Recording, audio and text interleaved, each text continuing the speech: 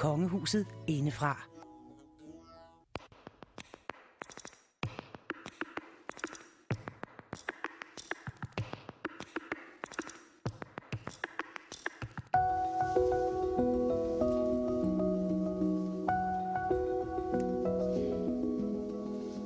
Der sidder en kronprins i et mødelokale i Bella-centret, omgivet af sine to nærmeste rådgivere, og alligevel absolut alene.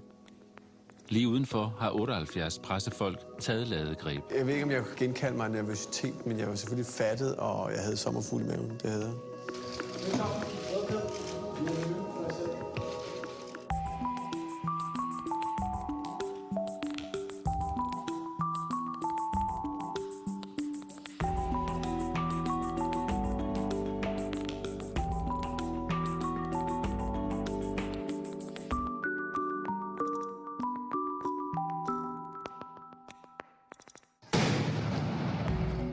DR Dokumentar har i et år haft adgang til indersiden af det danske kongehus.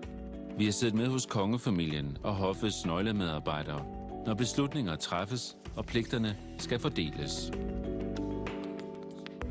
Vi er med på et staldbesøg i Lemvi, men også på et snorlige statsbesøg i Vietnam.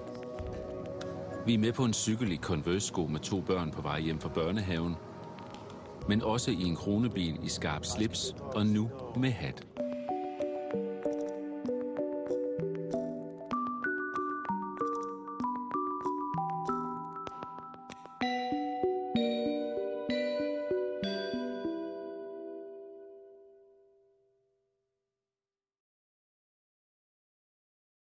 Siggy, kom her. Kom her. Nej. Her. Nej. Det ligner DDR. En daglig løbetur i parken omkring Fredensborg Slot med hund og høj puls.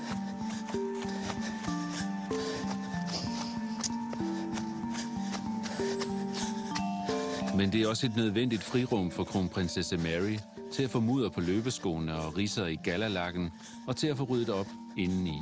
Jeg faktisk tænker rigtig meget og føler som om jeg tænker meget klart, øh, når jeg løber. Øh, så for eksempel til i morgen, hvor jeg skal holde tale, og måske blive stillet nogle spørgsmål, så tænker jeg igen, hvad det vigtigste budskab er, og hvad det er, jeg vil gerne formidle uh, i min rolle som kronprinsessen og som formand for Maryfonden. Det er præcis det kompleks problemstilling, vi står ovenfor, som i morgen er kærestevold. Talen i morgen er en af mange. Kronprinsessen bliver bombarderet med ønsker om at kaste glans over alt, fra sociale sager til det mere celebre, og de bliver sorteret med hård hånd. Men i takt med, at det danske sprog falder på plads, bliver talerne flere og mere og mere nuancerede. Det er simpelthen så vigtigt at, at have sprog med sig, for at være en del af dette land og landets kultur og historie, og virkelig forstå Danmark og, og danskhed og, og danskere.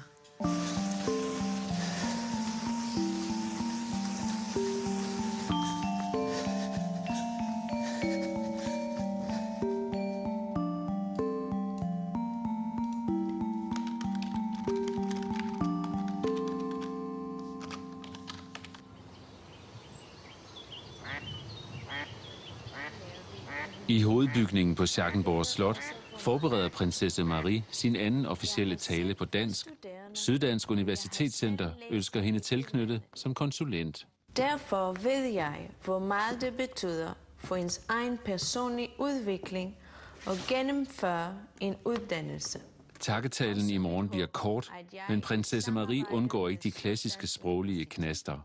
Kan yde, kan yde, mm, yde en særlig indsats for den syddanske region, hvor jeg selv bor. Det er E og Ø og Å, men E og Ø kender vi også på fransk. Men øh, Å, Å, øh, det er helt unikt til det, øh, for det danske sprog.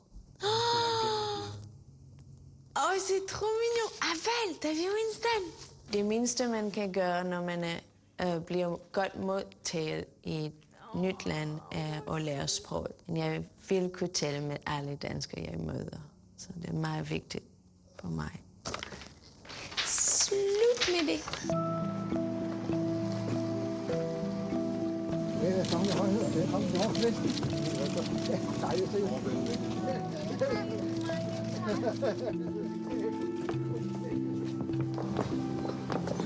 Selvfølgelig så jeg alle gæster i salen. Der var mange gæster. og jeg har selv læst i udlandet. Derfor ved jeg, hvor meget det betyder for ens egen personlige udvikling og gennemføre en ud- uddannelse. Det gik rigtig godt. Synes du? Ja, det synes jeg. Det gule palæ på Amalienborg er rødglødende. Der er en kronprins, der skal vælges ind i EUC. Det er Line Balleby. Ved du hvad, nu kan jeg godt fortælle dig lidt om arrangementet i dag. Der er en frokost for de fire lande, der søger værtskab for OL i 2016. Og når ja, så kigger det amerikanske præsidentpar, Michelle og Barack Obama, i øvrigt forbi til et hurtigt møde med de kongelige, og det er alt sammen lige om lidt. Jamen, hvad havde du forestillet dig, der skulle være? Det har intet med det at gøre med, hvor fint eller ikke fint det er. Det danske flag, splitflag, er jo fint. Ja. Lene, de begynder at spørge til Obamas øh, ankomst i, øh, på Christiansborg i morgen. Det kommer ud senere i dag. Ikke også? Nu tager vi lige en frokost. Okay. Ikke? Altså, der er så mange parter her, der spiller sammen, og hvor tingene skal gå op i en højere enhed. Og det gælder IOC's protokol, det gælder Udenrigsministeriet, det gælder Statsministeriet, det gælder Dansk Idrætsforbund. Ove, Ove kom indenfor. Men vi står bare lige og taler om øh, hele det der entré der i morgen. Altså, der, regentparet står nu inde i drabantsalen, og det er der, de modtager på, ja, undskyld, på fredag. Jamen, det er også i morgen. Ja. Og døren går op. Ja. Øh, det vi bekymrer os lidt for, det er, om vi når at få de amerikanske pressefolk ind. Kronprins Frederik pakker bilen i morgenhår og moderne træsko. Det bliver en lang dag på kontoret for den kommende konge. Først er der et maratonløb på mountainbike i Hillerød, der skal køres. Og så er der et VM i brydning i Herning, der skal overværes. Den bil, der kører derude, er det... Det er den der. Det er også den der. de begge to. Okay. Fantastisk. Den er ganske almindelig søndag. med, øh, med en 100 km foran sig. Øh, på, øh, på sådan jævnt eller ujævnt kuperet terræn i Nordsjællands stil. Så um, jo, det bliver rigtig godt. Det bliver en god dag på, i suppen der. Kronprinsens fysiske skarphed er velbeskrevet. Fra sejlsport til slæderejser. Fra maraton til frømand. Han har været der. Men de næste dage er sidste etape på et langt mentalt løb. Kronprinsen har valgt at stille op til den olympiske komité IOC, og på en storstilet kongres i København skal han nu officielt vælges ind. Det er klart, offentligheden, det, det, det, det kan jeg godt mærke, den, den, den skal man lige øh, vende sig til, vil jeg sige, for mit vedkommende. Fordi selvom jeg selvfølgelig også er en offentlig person, så er det et andet offentligt lys, man kører i nu.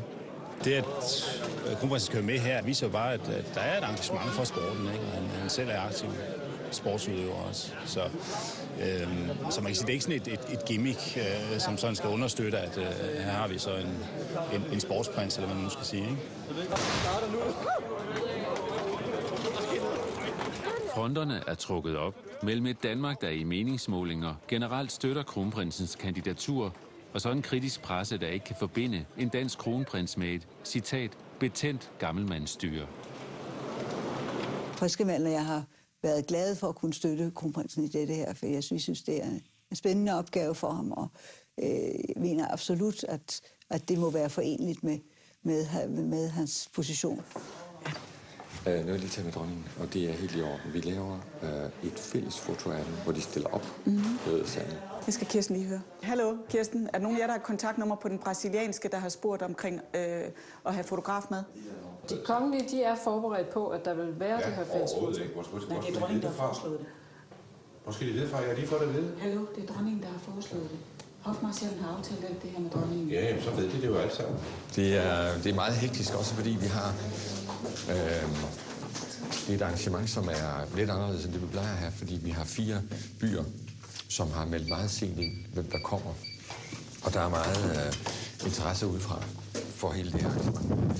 Så derfor er der også, også mange pressespørgsmål. Er du i tvivl om noget? Nej, det tror jeg faktisk ikke. Jeg tror, at vi har nogenlunde kontrol over det. Jeg skal lige have, vi har lavet en sidste minuts ændring her med et fotografi, som bliver taget her. Ja, korrekt. I salen, ikke? Lige inden gæsterne går ud, og den organiserer ceremonimesteren øh, sammen med mig. Mm. Det er her, det store foto skal tages, ikke? Ja. Og der er lige skal det her, finde ud det af... officielle billede skal tages. Ja. Så hvad, hvad er bedste position rent øh, Hvor mange bliver vi her? fotografisk? 11. Vi kan lave den der lidt, lidt skruelinje. Det ville være en kæmpe fordel. Ja. Bag den her. Prøv at kigge på det her træ. Ja. Du har en amerikansk kontopart med også. Hvordan ser det ud? Og så lige et ekstra billede, ikke?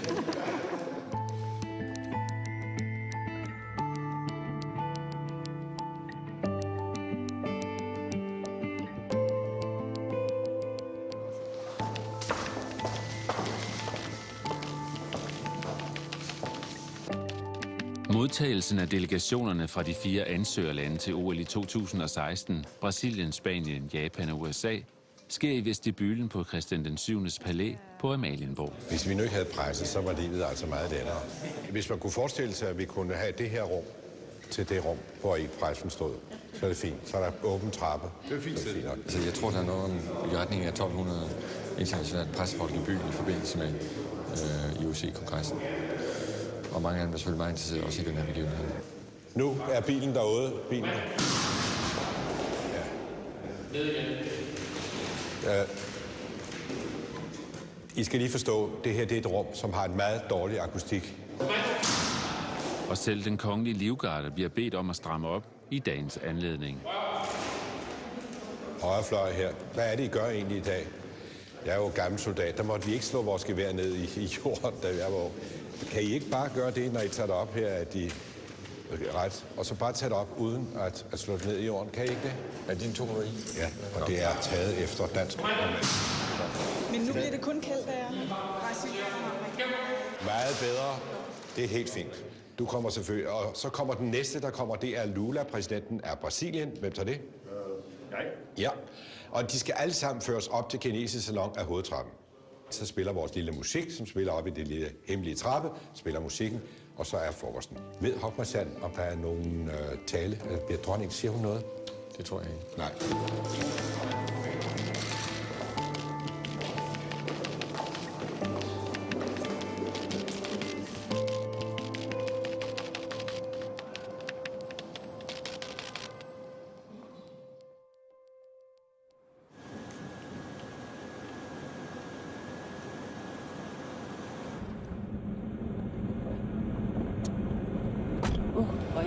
Har det hele.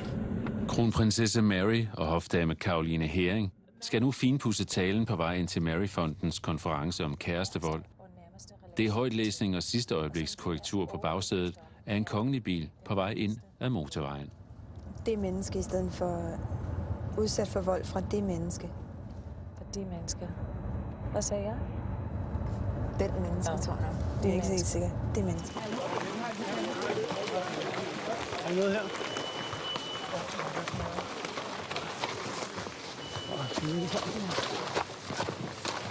Går faktisk til rimelig godt. det er sjovt nok, det må jeg sige. Det der med ekstremerne, maraton, frømand et eller andet sted, hvad er det, de mærker det? Det er et spørgsmål om, at kende har været ude i de ekstremer før, ikke? Så man ved nogen, der, hvor ondt det gør, eller hvornår det gør ondt, eller man skal ligesom, man kan arbejde lidt med sig selv, som nogen siger. Så det er meget i hovedet også, eller hvad? Ja, når vi skal ud på de her distancer fra nu, fra nu af, ikke? Men samtidig skal vi huske, at også voldsudøverne, jeg hader det over, bærer på en smerte. Voldsudøverne. Voldsudøverne. Voldsudøverne. Ej, det er svært det ord. Så træk det lidt længere til sidst. Voldsudøverne. Ja. Voldsudøverne. Men samtidig skal vi huske, at også voldsudøverne bærer på en smerte. Den og dem er vi også nødt til at tage hånd om.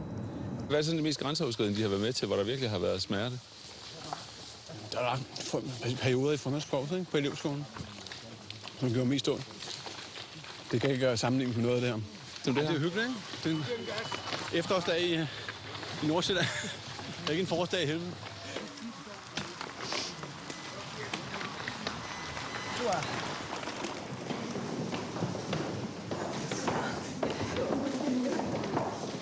Kan de huske den første tale, de holdt? Det var ikke en tale, det var mere nogle forudsætninger til forlovelsen, men oh, ja, det jeg var meget, meget nervøs. Det kunne jeg høre min stemme ryste og det hele. Alene i Danmark har 12 procent unge kvinder og 5 procent unge mænd, som har eller har haft et kæresteforhold inden for det seneste år, været udsat for kærestevold. I starten havde jeg alt de ord, det skulle til, til at øh, uh, direkte oversætte, men det virkede ikke.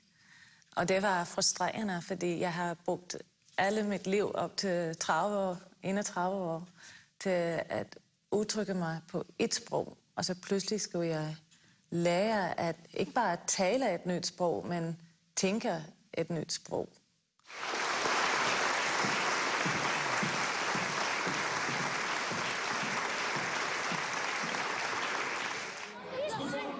Kronprinsens mærkesager til EUC-valget er blandt andet at bekæmpe fedme og det stigende antal inaktive børn på verdensplan.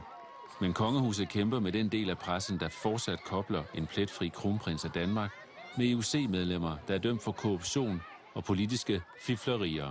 Thank you. Oh, for coming. Den debat, den kørte meget bredt og, og meget langt, og måske nogle gange ikke så, så faglig eller savlig. Men det føltes lidt uretfærdigt, fordi fokus var om, hvad EOC var for 10 år siden. Jeg ville jo ikke have sagt nej til noget, som stod, ville stå negativt fra mit synspunkt af, eller som ville komme til at fremstå negativt. Fordi det, det, det vil jeg ikke bruge øh, energi på. Øh, at der så er nogen, der ønsker det modsatte, det er selvfølgelig interessant, men det er ikke unormalt i vores land. Øh, uanset hvad man hedder og hvem man er. Der er, der er sådan nogle rigtig onde nogle. Ja, det stiger, ikke? Mest af det er stiger. Sådan.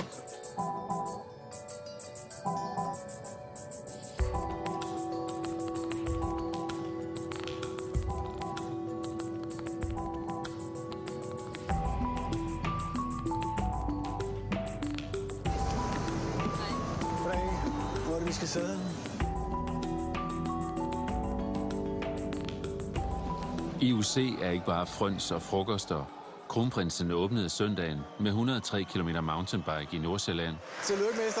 og så lukker han med at ekvipere en dansk bryder i Herning med en medalje.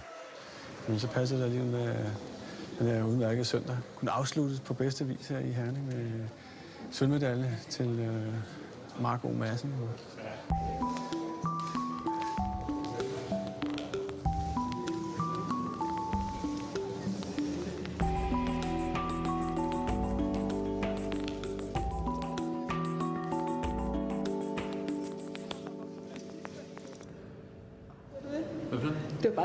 Dig i den der bil der. Der var det det var sådan ikke det.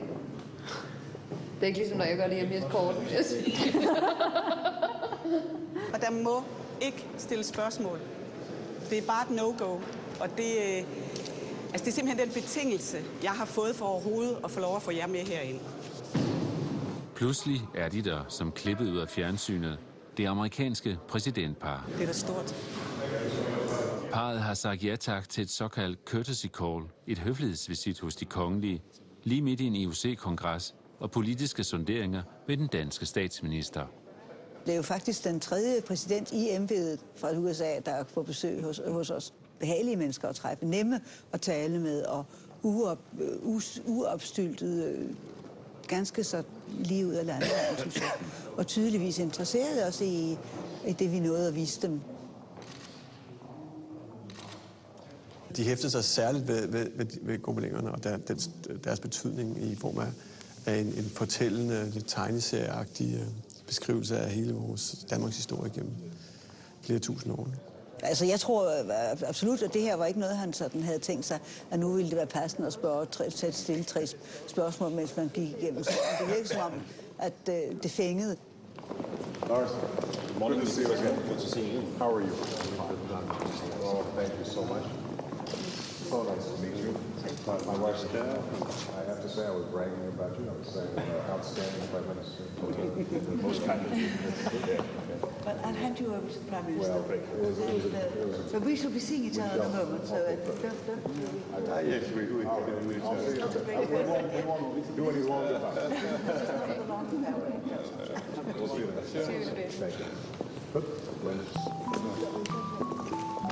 hedder over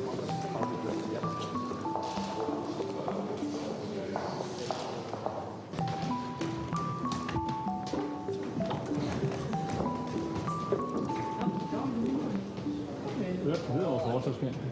Det kan den godt klare. Ja, der er Obama. Det var ikke meget, vi fik af ham. Gud Barma.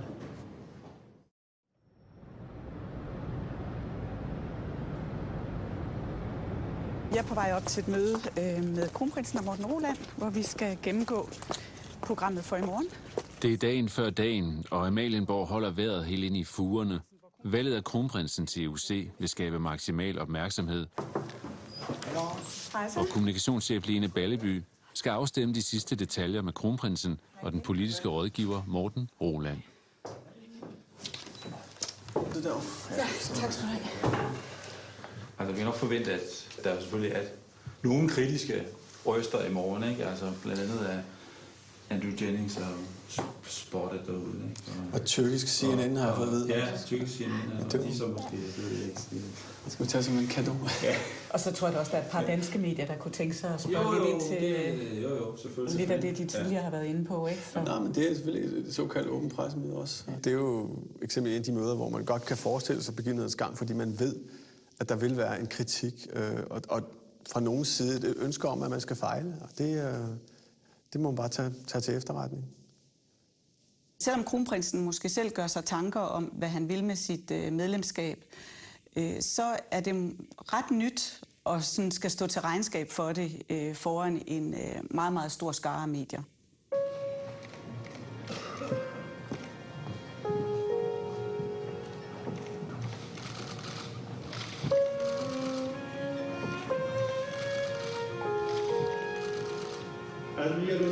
Faire partie du Comité international olympique et nous déclarons fonction toute forme de discrimination Valget og edsaflæggelsen er en højtidelig formsag. Kronprinsen er nu officielt indvalgt i IOC-komiteen.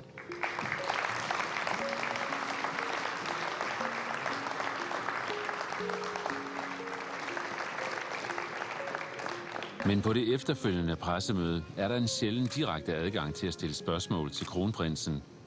Ekstrabladet stiller alene med ni medarbejdere, og de synkroniserer taktikken i flok. Det primære er at tvinge kronprinsen til at forholde sig til, hvordan det var at give hånd til den tidligere IOC-præsident Samaranch med en fascistisk fortid. Men altså, skal, skal Alt imens kronprinsen samtidig læser på kommunikationslektien i et baglokale i Bella-centret. Så hvis du siger med det samme, jeg ved godt, at Ekstrabladet øh, har fremhævet forskellige personer i avisen de seneste dage. Man kan også, men selvfølgelig kan du sige, at jeg vil ikke kommentere det.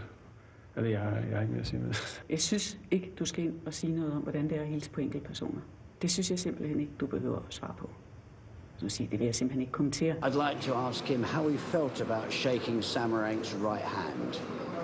The one that spent 40 years doing. I'm not going to do it in front of the camera, but you know what I mean. Jennings starter, når det er på engelsk. Ja. Jennings starter en engelsk session. Så spørger han med, om han havde nogen som helst forbehold over at øh, hilse på Samaranch, den ældre. Hvad tænkte han, da han stod med hans hånd i hånden? Jamen, mere, mere kan jeg ikke sige om den sag. Et håndtryk er et håndtryk. Et håndtryk er et håndtryk. Ja, ja. Eller hvad? Ja, det er et bedre svar.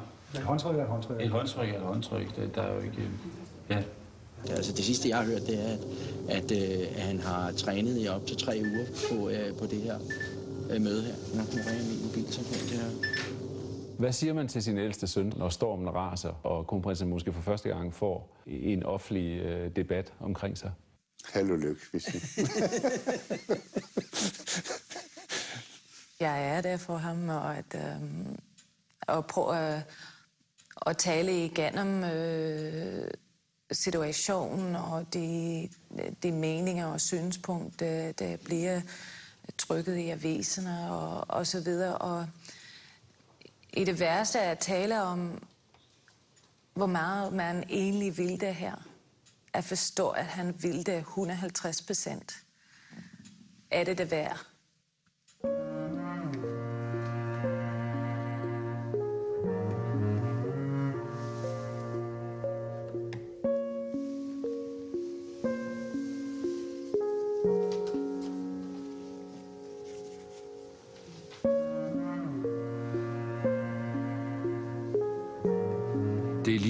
At han skal åbne en flanke.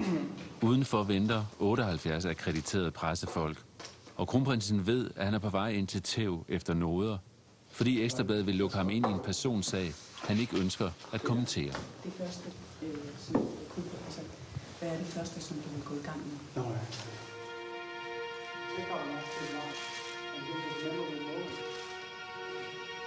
Respekt for sin Why won't you comment? Why not? It's a major issue at the IOC that was led for 21 years by a man doing, you know what I'm doing. And you have no comment, you have no opinion, and you have no problem with his values. Not at this point. I am, You have no problem. I didn't say I didn't have a problem. I said I'm going to comment further on, on this question. Kronprinsen kan med de ord, han selv har brugt i forskellige sammenhænge, jo ikke stå på mål for andres gerninger. Og, øh, og det skal han heller ikke. Ja. Var det, var det selvfølgelig en, en, en spændende øh, og ekst, ekstremt lærerig øh, oplevelse for mig. Og men jeg ikke ønsker at, at have den en gang om året, som jeg siger. Ja. har gaver med til Ekstrabladet nu. Ja. Men hvad gør vi? De stiller jo nok ud af bilen nu, ikke? Eller hvad? Jeg har fået den. Ja, hvordan kommer vi ud til bilen? Ud? Kronprinsen stempler ud af en bagtrappe i Bella-centret for at undgå, at Ekstrabladet overrækker ham en skov af kritiske artikler som en gimmick. Og han ringer samtidig, som man nu gør efter en eksamen, til sin kone for at få den første runde efter kritik. Jamen, jeg synes, det gik, øh, jeg synes det gik meget godt. Men altså, hvad, øh, hvor, hvor mødes vi henne? Vi vil svare på spørgsmål omkring personerne i OC. Han taler lige med sin kone. Ja, nu det er taler med sin kone.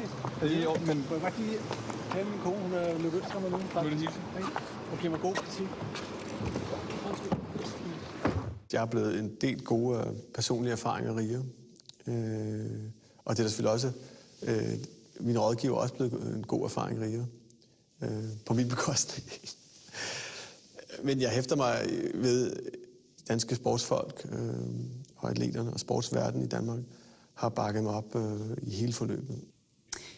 Altså i lyset af den der meget, meget voldsomme opmærksomhed og øh, det forventningspres, øh, der var i den givende situation, så vil jeg sige i den her sammenhæng, at jeg synes, kronprinsen bestod. Han taler jo lige med sin kone. Ja, jeg fik det på lyd, ja. Nu, nu, nu, nu nu havde vi jo den episode, hvor vi ramte rundt i ja, ja. Men det her, det er payback time. Konsekvensen af det her, det bliver jo så, at vi rammer rundt i radioen. Lige præcis. Det tror jeg, for Vilas var han. Bella spurgte mig, hvad er det? Jeg sagde, ah, det er hestepær. Nej, det er prødt.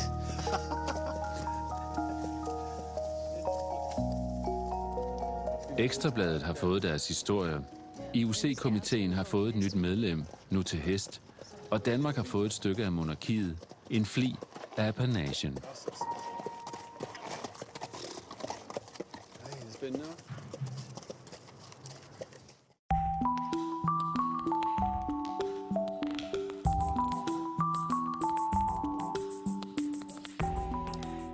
Kongehuset indefra er tilbage næste torsdag, og du får nogle glimt fra det afsnit lige efter teksterne her. Og om lidt går turen til hvide strande, frodige palmer og turkisfarvet vand. Vi besøger Maldiverne i verdens vildeste ø om ganske få øjeblikke.